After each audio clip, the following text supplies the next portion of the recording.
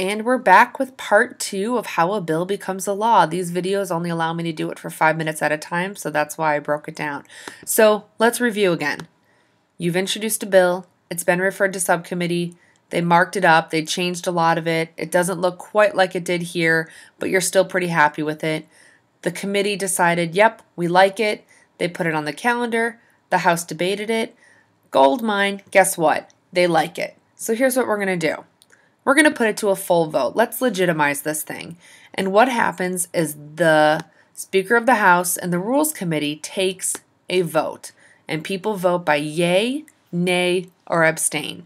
And if you have a majority, if you have 51% or more of representatives in the House agreeing that this bill needs to be a law, guess what? Da da da da. It goes over to the Senate. Now, you don't start automatically where the Senate goes to vote on it. Nope, you go from the House voting and approving on it all the way back up to now the Senate is going to introduce it as a as a possible bill, as a possible law. Same thing happens. The Senate, the steering committee now will direct it into the Senate and their subcommittees will debate it, argue it, figure it out.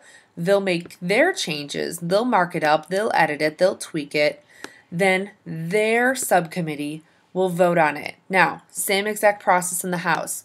At any one point, whether it's the voting on by the committee, the marking it up, or the, re- the initial review by the subcommittee, during any of these stages, your bill could be tabled or thrown away. So that is very possible. So even if you've successfully made it through the House, if the Senate decides, yep, nope, we're not going with it, your bill is garbage. And it either has to start over in the House again or you just have to accept that it's garbage.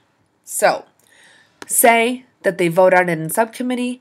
Ta da! It passes. Guess what?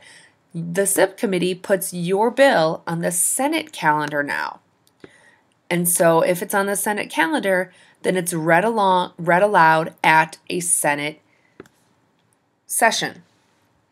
And this is where you can have a filibuster. So, say somebody really doesn't like your bill, or they really just don't like you. They might try to stop your bill from happening. And if they know that your bill needs to pass by a certain date, they may filibuster the heck out of it so that that can't happen. Now, remember, a filibuster can only happen in the Senate, it cannot happen in the House. Only the Senate, not the House. Filibuster in the Senate, not the House. Okay? So, say you survive and you don't have the filibuster, or the filibuster lasts very, very short, and as a result, the senators agree let's put this bill to a vote. Same exact thing as in the House. They vote yay, nay, abstain. All yays, all nays, all abstains. That's not quite how they do it. Instead, what they usually do is a roll call. So, would the senator from Alabama please vote? Would the senator from Alaska please vote? Would the senator from Maryland please vote? I know that was not ABC order, but you got the hint, okay? Say that it wins. Say that the Senate, a majority of the Senate has decided, yep, we like this this bill, it needs to become a law. Well, guess what? You can do your happy dance because both the House and the Senate have decided that your bill is good. So, what happens next? We bring it to the big guy. And what that means is the, the bill comes to the White House. Okay? And who lives in the White House? The president. And the president has a choice.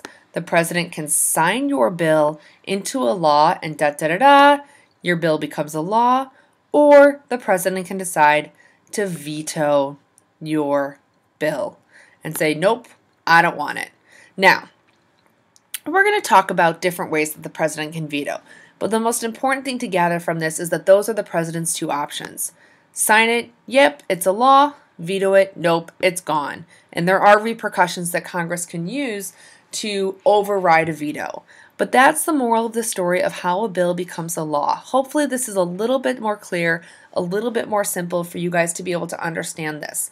Now, here's what I want you guys to do for the rest of Plan E go over this again, understand this infographic. I'm going to go ahead and put the PowerPoint from today up on Pilot, and I want you to finish filling out that chart using just the PowerPoint and the tips you got here. Email me if you have any questions. Have a great day. Stay warm. I'll see you all tomorrow.